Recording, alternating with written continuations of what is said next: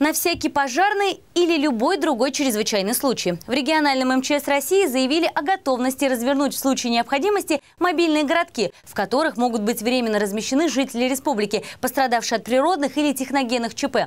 Структурно такой городок состоит из каркасных палаток. В них предусматриваются рабочие места для психологов, волонтеров и сотрудников МЧС.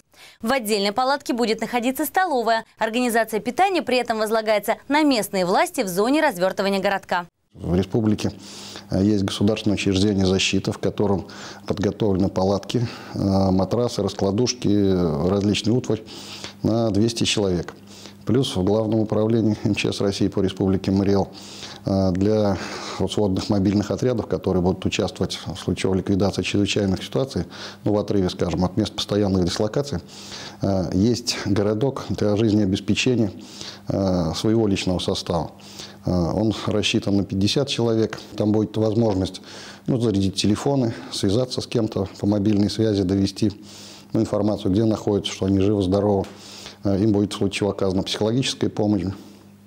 Ну и если где-то нужна экстренная медицинская уже с помощью Центра медицины катастроф, Кроме того, в случае чрезвычайной ситуации также предусмотрены и традиционные пункты временного размещения. Их в республике около 200. Обычно это помещения школ. Так, в ходе подготовки к паводку такие пункты будут развернуты в 12 и 13 школах Ешкаралы. Напомню, в зону возможного подтопления в столице Мариэл попадают улицы Чапаева, Луговая, Красноармейская Слобода, микрорайоны Тарханова, Гомзова и Аршанское шоссе. Уже сейчас в этих районах проводятся подготовительные работы по вывозу снега и прочистке водоотводных канав.